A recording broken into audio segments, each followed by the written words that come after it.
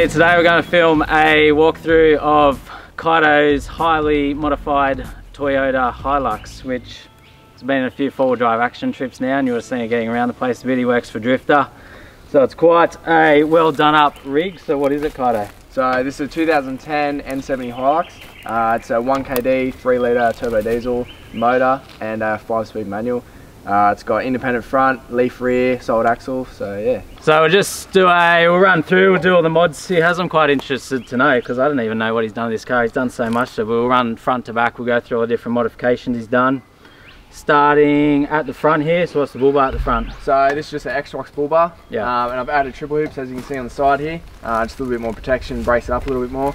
Um, in the front we've got a Runva 11XP uh, winch, uh, factor 55 fair lead on the front and a factor 55 winch uh, hook thingy. That's synthetic rope in there. Ah yeah, synthetic rope, Yeah. yep. This X-Rox bar looks a lot better when you've added the hoops Yeah, as well. Yeah, yeah, Oh. I really like it, yeah. Bit more Um, protection. Then we just got a GME uh, whip attached to the uh, XRS, so How many dBi is that? um, no idea. No idea. 3.3 or something like that. 3.3, Yeah. yeah. I think it's the touring pack or something that Yeah, they do okay. for the XRS. So Yeah. yeah, good range. I'm pretty happy with it. Bash plates?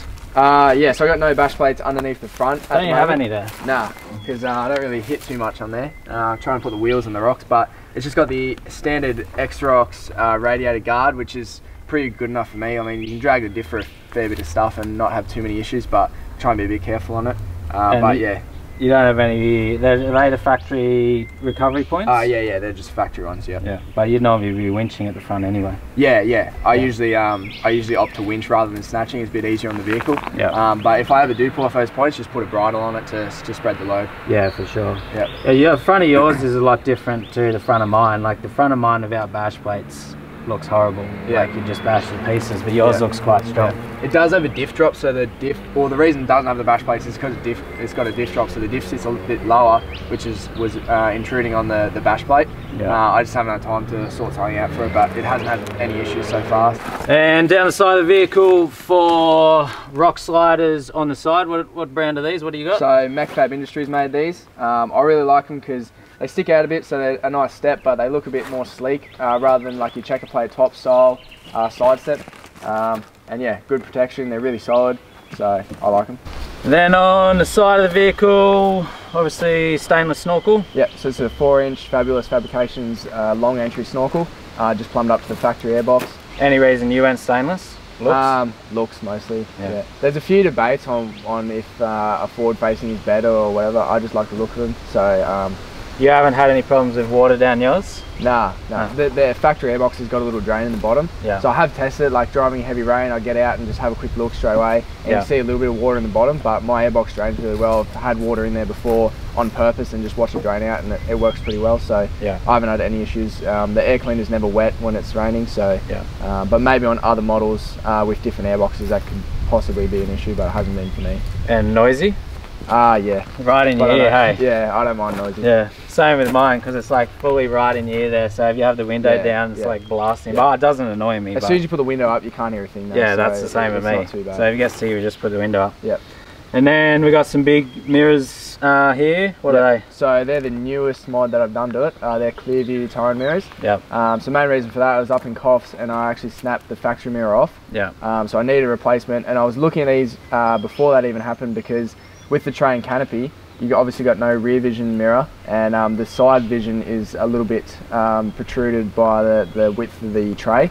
Yeah. Um, so I couldn't actually see what was directly behind me. It was a massive pain in the ass for backing up. Um, but with these, they got like a blind spot mirror on the side, and they're a little bit wider, so you can see right down the back. And obviously they extend, but it's not really a tow vehicle, so it wouldn't really extend them very often. But uh, yeah, they've been. So they can addition. come out a bit. Yeah, yeah, Yeah, yeah, they yeah. just slide straight out. Um, and I think they look better than the factory too. And then big one, which probably the most commonly asked question about any vehicle is tires and lift. So start well, tires, rims, lift. What um tires and wheels you got? So these are CSA Raptor rims. They're a 16 by 8 on a zero offset, which seems to work pretty well for the Hilux in clearing the tyre.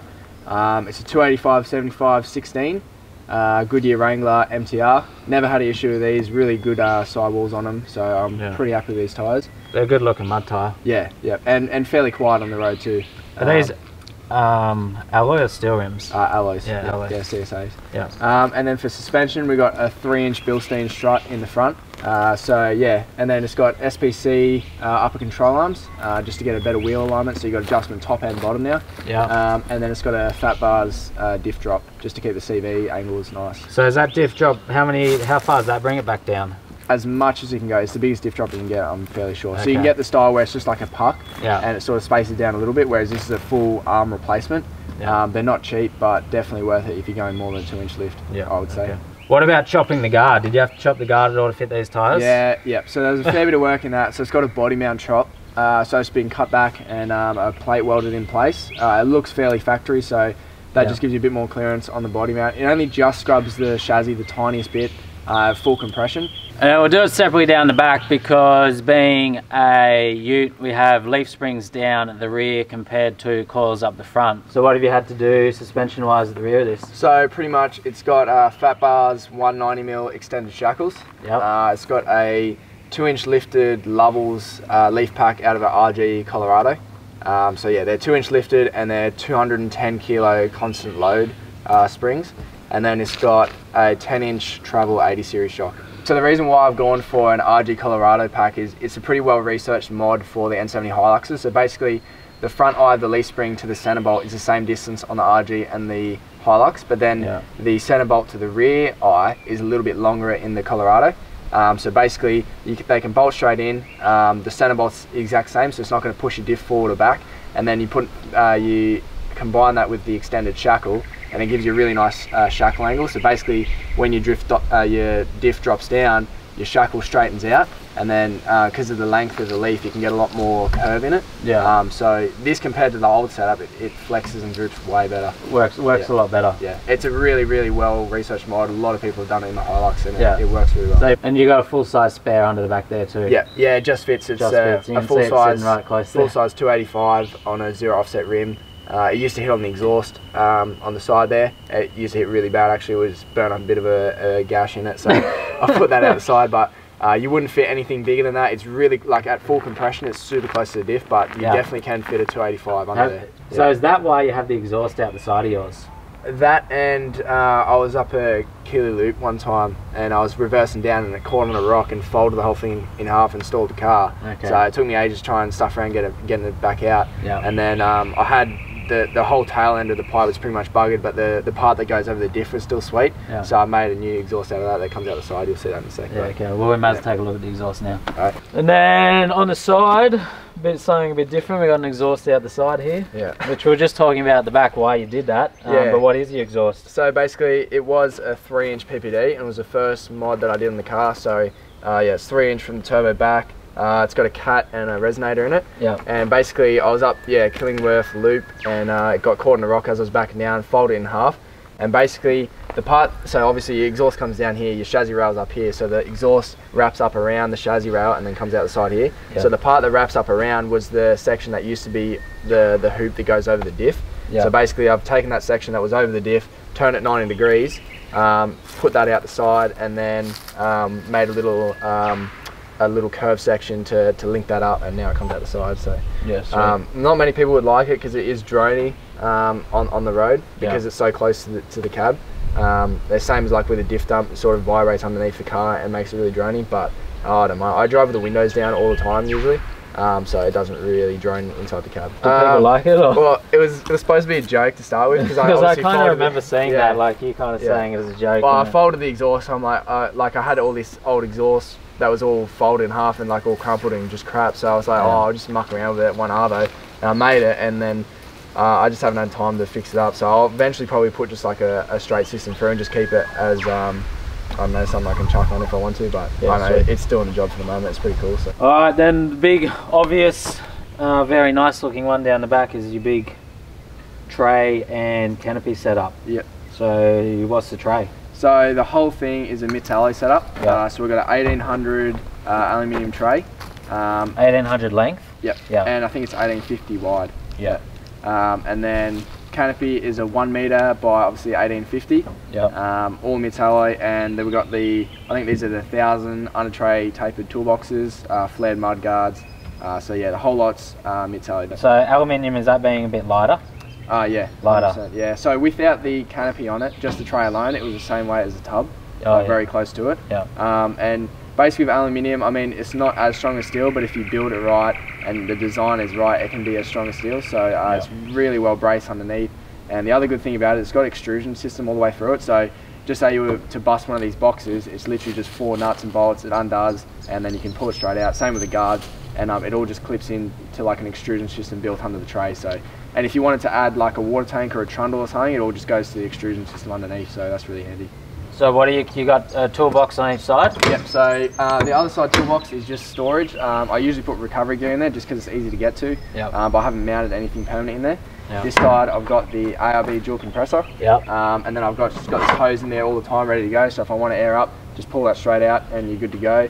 Um, the switch for that's in the cab because it also runs the air locker. Yeah. Um, and that's running off the second battery too, so I can pull up, have the car completely off, and just run it straight from the lithium in the back, um, and not have to worry about running the engine while I'm pumping up. Okay, so this all runs through your dual battery system. Yeah, yeah. So the wiring goes up because all my batteries are in the in behind the cab, uh, in behind the rear seat. Yeah. Wiring runs up under the tray into the back. Uh, so yeah, you can pump up, don't have to have the car on, which is really handy. That makes it easy. It's a pain in the ass like running the car all the yeah, time. yeah. And up. if you want to air up a few mates as well, you have your car running there for half an hour or so, so Yeah. it gets a bit of a pain. The dual compressor is really good. So I find that I don't actually use like a tire pressure gauge to measure it because I usually go to like 18 or 15 in the tires, Yeah. and then I time one minute and it just pumps up to 33 straight away, back to about 35 to 40. so in one minute so- it does that? Yep, one minute Yeah, per okay. tire from 18 to 35. So that's that's really, That's really good. And it's got a fan on the top too, so it keeps nice and cool. Because I've, Um, I've yeah. just got a cheapy one. It's Yeah. like a Ridge Ryder one or something, but Yeah, to do the same thing you're talking about would be double that time. yeah. It'd be about two yeah. minutes. Yeah, it's super quick. I really like Yeah. it. And then, so you got a half canopy setup. Yep. So basically, MITS Alloy one again. This is MITS Alloy, it's Yeah. a one meter uh, canopy. Yeah. Basically, I've gone for the one meter to keep the weight down. Um, so as you can see here, the center line of the canopy is straight over the rear axle, which is where you want the weight. Yeah. Um, and if you if you set yourself up with a smaller box, giving yourself less room, you sort of force yourself to make a lighter setup, uh, which is obviously better for you in the long run when you're off road Yeah. and uh, and touring. It's a lot better to have a light setup. And obviously, you've got the tray space in the back, so I'll eventually get tray sides made for it. So you, firewood and and all your, your Yeah, uh, yeah, it's kind of hard can when it's in the just a bit like blank at the moment. Yeah, but yeah, I usually sides just would be like- good. Chuck yeah. a swag or whatever. Yeah, I in just strap a swag or something on there if I need to. Yeah. Um, but I will get tray size made for it so you can use the space for, for other things. So Yeah, so open up, have a look at basically, I've got a Drifta draw set that I made myself. It's the first draw set I've ever made. Yeah. Um, so So it's, a, pretty good. Yeah, obviously all wood and stuff. Yeah, so it's just rib nutted to the base of the canopy. Yeah. Um, it's spaced up a bit, so the drawer is obviously clear the lip of the uh, canopy. Yeah. So we've just got a kitchen drawer there, a bit of food and cooking gear Yeah. uh, in that one. Yeah. And then basically the idea behind the fridge drawer is I didn't want to put a big uh, slide in there with obviously a fridge on top of that because you start building up a weight and then fridge side's obviously going to be a lot wider um, than what this setup is. So the fridge drawer is a 30 litre, uh, litre Engel. Yeah, just Um, a so slide out fridge. Slide out there and there's your fridge space. So Yeah. for me, for a weekend with maybe like two people, it's ideal. Um, but if I wanted to do like an extended trip, maybe like a week or two week trip, I'd put another Engel in the other side or in the back seat. Yeah. Um, but just for like a weekend or like a week away of just two people, I find that it's. Other things, we've got a Drifta LED light pole in the top there. Oh, yeah. Uh, that's just on the dimmer switch. Yeah. So that's lights up real well on there, and also you can unclip that because it's just clipped onto that that MITS pole there. So you can unclip that, and uh, it's got an extension lead on so you can take it wherever you want in camp, which is pretty handy. Yeah. Um, just a fuse block in the back here that powers anything in the canopy. Uh, cigarette plug for USBs, got that on both sides, but I've kept it fairly basic for the moment. Uh, I'll probably add a, an inverter into here later on, but yeah. And then over the other side is just like a bit of a storage room, really. yeah, so it's bare space on the other side. I actually just got a dog the other day. Yeah. Um, so I'm thinking of turning that side into a dog box and Yeah. just putting a divider up the middle. Yeah. Um, and also I've insulated the whole canopy, so it's got plywood with sticky back insulation uh, throughout the whole thing, which keeps the noise down a lot. Yeah. I didn't know that. it um, keeps the heat down a lot, and like Yeah. by, by the noise, like if you if you tap on here Yeah. before and after, it makes a big difference. So it, Yeah. it, yeah, I can tell it's doing something. Yeah. And it keeps, it mainly keeps the heat down. Yeah, that's it. Yeah. Okay. So from the canopy, we're just talking about the fridge and the lights, which run, and your air compressor, which all run off your dual battery system. Yep. Which you have behind the back seat, which Yep. just folds forward. Yep. So So what's the what battery you got there? So pretty much it's a Safiery 125 amp hour lithium. Yeah. Um, so the reason I've got it behind the seat is I wanted to keep all the 12 volt gear out of the canopy, which Yeah. is where you usually put it, or under the engine bay, which I don't have much room under there at the moment. Yeah. Um, so I wanted to keep it out of the canopy so that it's only one plug to sort of take the canopy off. So if I undo that Anderson plug, Yeah, canopy okay. comes straight off. There's no more wires in it, Yeah. uh, which I do a fair bit just to keep the, the setup light if I'm going to do a bit of beach stuff or a bit of hard forward driving. Yeah. So it keeps all the 12 volt in the cab, which is really handy. Um, so yeah, obviously the compressor's hooked up to that.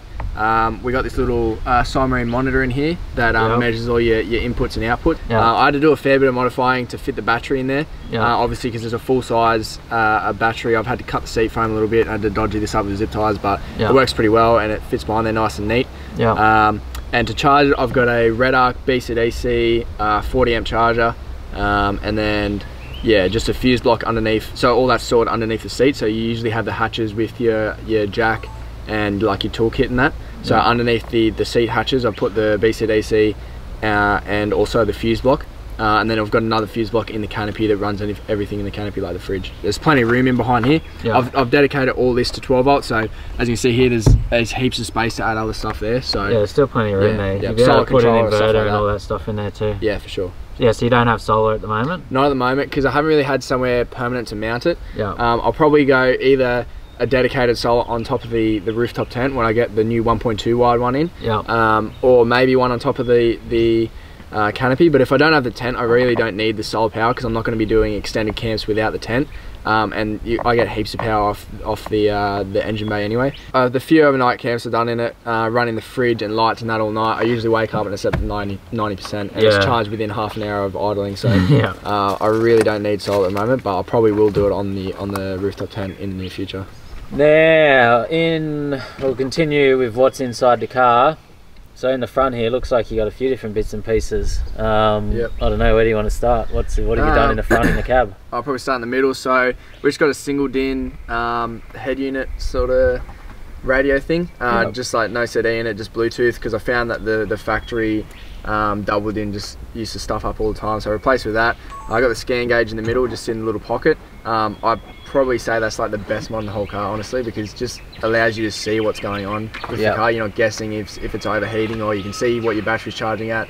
Yep. Uh, and all those. So I really like that. Right in the middle where you can see it. It's also adjust. It's got an adjusted speedo in it because obviously the 33s is going to roll quicker. Yeah, So okay, yeah. That's where the the um, the speedo's been trued up on that, so I can actually see what speed I'm doing. Yeah. Um, in the middle, I just got the the GME uh, XRS plugged in. Um, so you can unplug that obviously if I'm not using it, put it in the center console so it's out of the way. Um, in the middle, I've got the compressor and the rear locker switch from ARB. Um, So that's a doesn't come factory with a rear locker. You've put a rear locker in. Yeah, yeah, Yeah. no locker. And honestly, that should have been the first mod I did. Yeah. Uh, it only I only put it in like maybe three or four months ago, Yeah. and uh, I wheeled it a lot with a three-inch lift and the 33s, all the flex in the rear, Yeah. all the work I'd done, and honestly, I was getting smashed by BT50s with a fa- factory locker and standard tires. So honestly, if, if I was building this car again, it would be 100% from from where I bought it straight to ARB, get a locker in, Yeah. uh, because it makes the biggest difference off road. It's just crazy. Yeah. Um, then I've just got a few extra accessory uh, sockets there that are rigged up to the second battery so you can charge your phone in here with the car off. Uh, on this side we've got the iDrive. Um, I usually run it on U4 on the road and E4 uh, when off-roading. Uh, it doesn't give you more power. Um, the only thing I use it for is just turning throttle uh, control down so you can sort of get um, more more pedal feel when you're, you're doing rough stuff. So that's basically when you put your foot up, foot down, it, it changes like uh, how well how much like you have to put it down for how much yeah, sort of yeah, power exactly you get. right. Yeah. so I use it on E4 because that's economy 4. Yeah. Um, and it's really doughy. So when you when you're rock crawling and stuff, you got to put really push on the pedal to get any response out of it. And because I've done a, a fair bit to the engine bay, so it, the boost comes on really quick. yeah, Um, so yeah, being able to turn the throttle response down is really handy. I find. yeah, Um, and then up the top here, I've made my own custom uh, gauge holder just out of some 1.5 mil uh, sheet aluminium. And then we've got a boost and EGT gauge, and they're right there on the front of the dash where you can see them. So I just I monitor those religiously while I'm driving. yeah. Um, so yeah, they're a, a Pro Comp uh, ultralight by um, Autometer. They're Autometer. Yeah, the. Autometer Pro Comp ultralights. Really Okay, like cool. them. Nice backlight in them, so you can see them at night. And what's that about everything in here? Um, that pretty much. Oh, and the whole the whole cabs, um, well, the floor, the firewall, and the rear wall is all dynamated, uh, which Yeah. made a huge difference to road noise. Um, I really like that, and uh, yeah, so the whole So- floor's been ripped out, dynamite the whole thing. So the- sound dead and the whole thing. So Yep. much quieter once you did that. Yeah, Yeah. absolutely. I've got to do the doors and the roof uh, yet still. Yeah. Um, but just doing the floor and the, and the firewall was the biggest one. Just stops all that that annoying engine noise coming through uh, through the front. So I did all the way as far as I could up the firewall from the inside. Yeah. And yeah, that made a huge difference. That's Yeah. pretty much it in the cab. Now up on the roof, mounted on your roof racks there, you got one of your the new Drifta rooftop tents. Yep. So this is a 1.4 wide uh, Wildlands tent. It's the only one in the country at the moment. Yep. Um, we've got also got a 1.2 wide, but this is the 1.4 for comparison. Yep. Um, so yeah, it's mounted on some Rhino rack uh, bars, just like some flat bars. They unclip really easy, so if you got the tent off, it's really easy to take them off. But Yep. sit straight on top, uh, just some little clamps underneath with some wing nuts, and yeah, super easy to get get on there and off. Can you mount this? Like, do you need a rack to mount it onto? You can't just mount it on the roof. No, you'd need some sort of rack system. This is a, the lightest and cheapest option Yeah. uh, of a rack system. Yeah. Uh, you can do it on a flat rack like your, your Rhino Pioneer platform or like your ARB style with the, the mesh. Yeah. Uh, you can need- mount on that, but this is the easiest option Yeah. So if you if you got something there already, you'll be able to get it up there. But Yeah, if you just yeah. got nothing, you'll need to get a couple of bars. if you're in. intending on leaving it on there all the time, this is probably the better option because those roof bars, obviously there's nothing in between them. So if you want to stack like swags and stuff like that, it's going to be easy with a, uh, a flat rack. Yeah. Um, but if you plan on, yeah, if you plan on taking it on and off a fair bit, then a flat ma- rack might be the go because when it's off, you can use that for other stuff as well. Open it up. Let's have a have a look at. I'm keen to check it out. So just four latches. Yeah. So with this current setup, I don't actually have the ladder in it because um, I can use the tray to get up into it, Yeah. um, which obviously saves a little bit of weight there. The whole car's really, really weight conscious, so that's something I've thought about. Yeah. Um, so I've left the ladder out of this one, and I can just walk up from the back. So normally it's just got a clip-on ladder to climb up it. Yeah, yeah, it just Yeah. hooks onto the extrusion on the outside. So, So- yeah, four latches. Opened up like on gas struts. Yep. Yeah. Um, so then you got this fold over section here. Bring that across. Um, these side sections.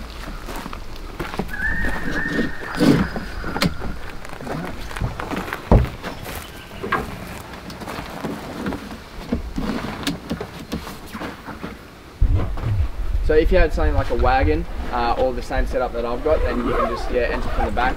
That saves having to climb up a ladder, which some people don't like. The last bit, just uh, tighten up this spreader bar on the top. Yeah.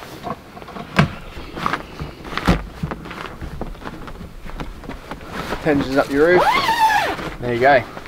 All set up. How thick's the mattress? Uh, so it's a 50 mil. Feels Um, thicker than that. yeah, it's it's similar to a swag mattress. So if you use Yeah. sleeping on a swag, it's it's pretty good. But Yeah. yeah, with this build, I never intended on putting a rooftop tent on the top, but it's a fairly light and slimline setup, so um, it beats the swag. I'd say that. Yeah. It'd be um, quicker to set up and pack down than swag as well. Yeah. Yep. It Yeah. makes it a bit easier. Yeah. Uh, for sure than having a swag. And do you feel much difference on the tracks with this weight up on the roof? Um, with any weight change on this car, it makes a big difference because of the suspension setup. Yeah. It's fairly soft and no sway bars, so uh, I definitely do notice it. Yeah, but it's it's not a huge issue. I did all of Coffs with this on the roof, and we're doing some really steep stuff out there, similar Yeah. to what you some of the same tracks that you did up there. Yeah. And uh, yeah, I did it with this and a fully loaded canopy, and it was it was pretty light good. on its feet, so Yeah. it doesn't make a huge difference. Yeah. But you will notice it. And you have like so got uh, lights or anything in? It's Yeah, a- yeah. So it's got a little LED strip at the top, Yeah. uh, just in that white sock, so it sort of spreads the light out. Yeah. and I can just sort of run off any anything that can um, power a USB. Yeah. Um, but yeah, other than that, it's pretty basic. And this, yeah, this is a 1.4. Plenty of room up here for two adults. Yeah, I'll end up running the 1.2 uh, on these once we got them in at Drifta, Yeah. um, just to keep the, the profile a little bit smaller. And they're also the 1.2s will be under 50 kilos, so Yeah. a little bit of weight saving there. This one here comes in at 59 Yeah. uh, for the 1.4 wide. But if you're touring and stuff, you want the extra room for sure. Um, but for me, the 1.2 is going to work a bit better for my setup. Yeah, for sure. Now, in the engine bays, looks like quite a bit of work you've done in here. It's Yeah. definitely not factory. Yeah, stupidly, it's the spot I've spent the most money. on. So yeah, pretty much. Um, most obvious bit, we've got a front mount intercooler. Um, Yeah. So we've swapped from the top mount to the front mount. Uh, so this is a Psycho kit, all hard aluminium piping. Um, I think it's a 600 by 300 um, core at the front, uh, which is really good for cooling. Um, I tend to get uh, the intake temps pretty much the exact same as the ambient temperature. So if it's 17 degrees outside, the intake temp is always around 17 degrees. Yep. Um, so that works really well. Um, the turbo is a stage 3 G turbo. Yep. Um, it's a VNT, not a gated. Um, so same as a factory, uses a factory the uh, yeah the factory actuator. Um, it's running about 26 um, psi on its peak, um, and then it's got 30 plus injector caps um, to to keep it fueled up. Um, and then there, that's just running through the standard airbox. I got no idea what half this stuff is you're talking about, but Yeah, I yeah. get, I, So, get, um, I get the general idea. Yeah, so power wise, it's running about 160 kilowatts at the wheels on 33s, and that's uh, through the manual. Yeah. Um, because you get, get a bit more loss for an auto, um, which is about the limit for what the diff and the gearbox can handle. Yeah. Um, so for comparison, on its first tune um, with the standard uh, turbo and intercooler, it made 109 kilowatts at the wheels on the same tyres. Um, and now with all these mods, it makes 160. So yeah, it was 109 when it was tuned, um, just from the factory ECU or the, the factory setup tune. And then with all these mods, it's now at 160. Um, and yeah, it's still running fairly reliable boost. They run about 16 stock, and this is running about 25.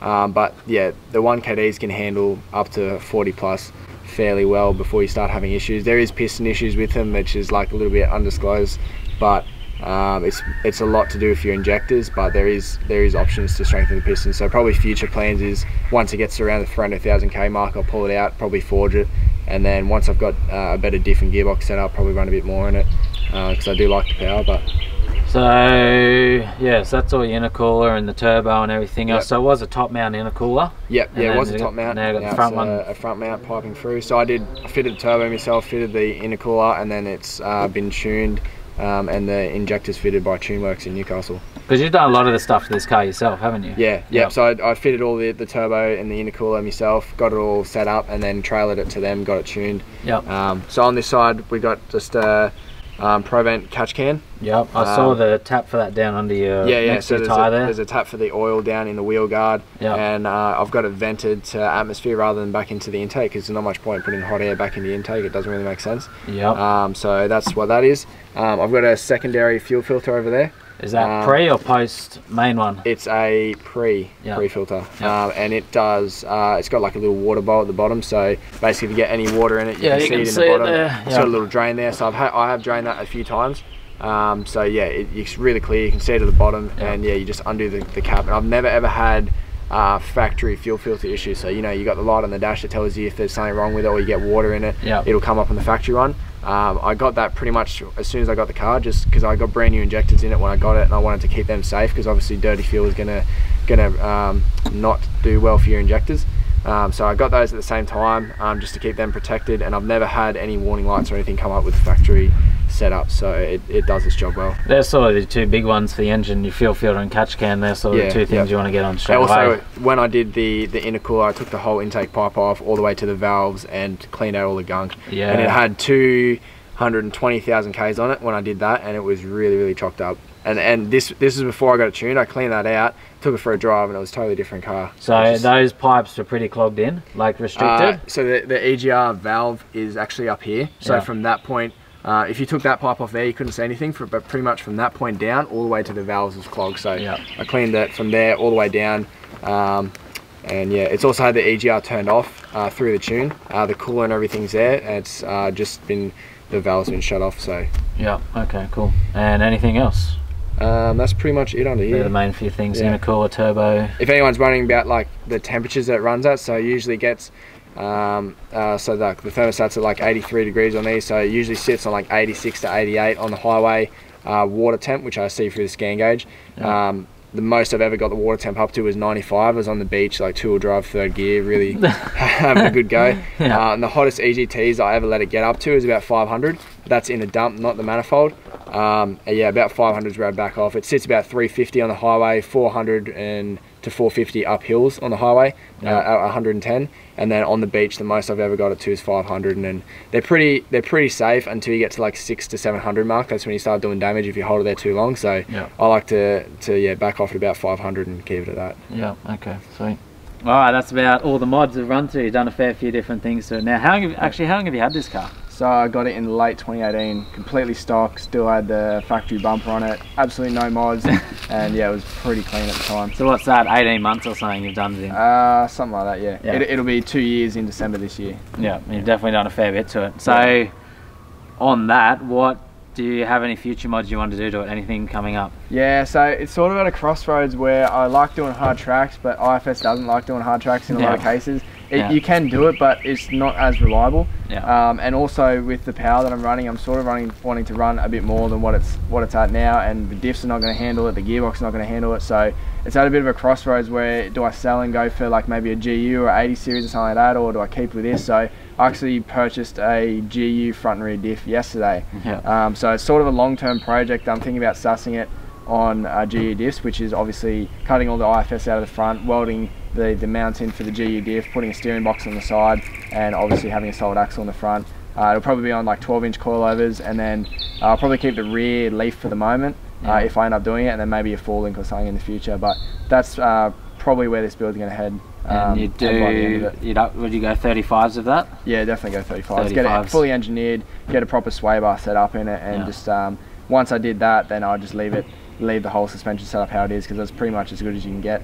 Um, so yeah, I'm at the point where I'm sort of looking into that. It's probably going to be like a year from now sort of project, but I'm just starting to collect parts now and, and really thinking into it and seeing what it's gonna what it's gonna add up to and uh, yeah, sort of. Because it's a pricing it big, it's a big project. Sure is, yeah, yeah. But for me to sell this and and build maybe like something that's already got a solid axle is also going to be a big project Yeah. because of the amount of money that I put into this. So at this point, it's sort of one of those things where I'm just going to keep going with it, I suppose, if Yeah. if I do end up doing that. So Which will basically make it a lot more capable and tougher off road doing that. yeah, it, Yeah. it'll be Bigger a lot, tyres, wide, lot bigger wider. lift, more you can't really you can fit 35s on it. I've seen people with 37s on these, but it's just not reliable for the Yeah. front end. Like you just end up smashing CVs and tie rods all the time. You'd lose power Uh, and stuff too. yeah, you wouldn't be able to turn the power up enough. Yeah, and the other issue is you've got to change the diff ratios, obviously. So if you go four ones in these, the four one diffs are obviously a lot weaker because of the small teeth on them. Yeah. Um, so then you start having a lot of diff issues, so you can't run much power. So the end solution will be GU diff in the rear, strong as you can get, which is um, the ones I've got are a factory 4-1, which will suit this car well on the 35s. So still cruise nice on the highway, and it'll end up getting an LN106 transfer case in it, which is gear driven. Um, then I can put uh, reduction gears in it and um, get that really nice crawl speed. So that's uh, sort of where this is uh, heading the, in the future. That's the long-term plan. yeah, very very long term. yeah, and then more power. Now, next question. What are, what do you reckon the top few mods are you've done to this car? So I cap it at three. Oh yeah, three I guess. Go so three. top three mods, number one locker, hundred Yeah. percent. So off-road ability, like just it smokes anything. It- it- like there's no other mod you can do that is better than a locker. I've opted for not going for a front locker for the moment because of this idea of the SAS. But if I end up okay. bailing on that, the front locker will definitely be going in. But Is that to, why you went a rear locker? Because you're thinking about doing the front kind of thing? Uh, yeah, that and I just like the idea of a rear locker more. Yeah. Uh, a lot of people suggest that maybe the front's better in the IFS, and maybe that is the case, but I, I just prefer the rear, and it's definitely that'd be the top one mod on this uh, for off-road ability. Probably number two is the gauges uh, as a whole, so the scan gauge, the EGT, and the boost, because it just lets you know what's going on. So you see a lot of cars, or all factory cars, you're driving around, but you really got no idea what's going on. Like you, Yeah. especially if you got some like engine mods and stuff, and you like a bit more weight on it, and you've changed it from factory, bigger tires, stuff like that. You could be flying up a hill doing 110, and it all feels good. Your factory gauge is showing that it's fine, but you really got no idea. Your EGTs could be up 700. Yeah. Um, so definitely the gauge setup on it, just being able to watch and really know what's going on. Also being able to, if you get an engine light or something goes wrong, you actually know what's going on. Like it's not something really serious, or if it is really serious, you can stop. So Yeah. definitely the scan gauge and the two gauges. Third, uh, I'd go for the tray and canopy, just the whole back setup as a whole. Yeah. Um, so originally, obviously started with a tub, and that's the way I was going to leave it um, at the start. I was going to maybe put a draw set in there and just keep it fairly light. Um, but then I started looking into tray and canopy setups and just all the options that you can do with them and all the advantages over disadvantages sort of started adding up, Yeah. and that's what I ended up doing. So just for convenience, being able to pop over the sides and you like you got all your canopy space right there. Having the flat tray as well is really handy. Like obviously went and picked up the GU diff, so you can just go straight on the top, strap them down. Yeah. Um, and yeah, just the ease of camping with with the canopy has been really good. Just being able to pop it open, and also the other thing I like about it is being able to take the canopy off fairly easy. So it's just four bolts, and then you removed all your weight. So rather than having a fixed Yeah. draw set up in Yeah. the tub, like I like to change what's going on with this car a bit. So Yeah. a lot of the time I've got the tent off, I've got the canopy off if I'm going to the beach, stuff like that. So being able to remove all that weight just is, is a massive advantage for me. That's why I never wanted to put a big setup in the tub because then obviously you got all that weight all the time there. It's very hard to remove it. Yeah. Um, whereas this, I can just fork the canopy off and I've just removed um, a couple hundred kilos and makes a lot more fun. So Makes the Um, car very interchangeable depending on what you want to do with it Yeah, for yeah, touring, yeah, camping, yeah. or So, yeah, day down the beach. the whole tray package as a whole with the canopy and the, the canopy fit out is probably my third uh, best mod on this. Next question would be any mods that you've done that you'd maybe recommend for people not to do, Yeah. and anything that you've broken on this car. Yeah, so for the first one, probably all the engine mods. Now, like, I really went ham on it because it was at a time where like I just sort of kept compounding on one another. So like I got a tune first, I'm like, oh that's pretty sweet. It wasn't enough, and then I wanted more and more, and it just started building up Yeah. so much. And if I hadn't have spent all that money on it, it would have been a much better off-road car from the start. So obviously I spent all that money on turbo and intercooler and all that stuff when I should be spending on it locker, compressor and stuff. I never had a compressor in this thing until like three months ago. So Yeah. I drove it for like a year and a half and always having to go to servo, never had a locker.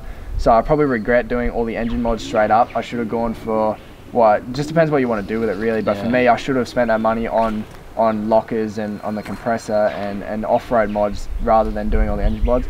I really do like the engine mods, it's good fun, but I just regret doing it so early. I should have spent it more on the on the off-road side of it. So you're happy, you're happy you have them, just maybe Yeah. change the order you did them. Get, Yeah, the, yeah, get the more yeah. important stuff done first. Yeah, I definitely would have I would have left it till later if I had it again. Yep. Uh, and anything I've broken, um, actually nothing yet. Haven't So- done like diff, CV, steering No, arms. so I always keep um, two CV. I always keep usually one CV and two spare tie rods on like bigger trips. Yeah. Uh, so we went up to Coffs. I had a one spare CV, two spare tie rods because the tie rods is usually one of the first things to go. Like Yeah. with this, with the diff drop, the CVs sit fairly flat, so it's not too much pressure on them, and it, it's a lot on how you drive. So like if you're going up rock steps and stuff with IFS and you start bouncing, that's when you back off straight away because Yeah. you shock load everything and it's just really not good for it. Yeah. Um, whereas tie rods are a little bit easier to do. Like you can just hit the tire on a wrong angle on a rock and bang one go. So uh, I haven't done any yet. I'm fairly easy on it in the front end. I usually try and rely on first gear low and just use a locker to try and crawl stuff. And if I get any bounce, it'll just stop straight away. Yeah. So I haven't actually broken anything. The only thing I've done is I didn't have a diff breather on it um, to, for like the first year. And I kept getting water in the diff Yeah, and not doing anything about it. And the electric actuator that does the diff flogged out. So basically, I would like a few times I went to McBride Beach, went to put it in full drive, and nothing was happening. Yeah. And yeah, so basically that's the only thing I've done on it. I just um, I replaced that. Yeah. That's all I've broken on it so far. All right, cool. Well, I think that's about just about everything, isn't it? About it covers it. Yeah. Yeah. We're going to uh, we're out Possum Brush State Forest. We're going to go for a bit a four-wheel drive now and have some fun and take on some tracks and see how this thing will go to get some footage for this video. That's the bit I'm keen for. Yeah. All right, let's go.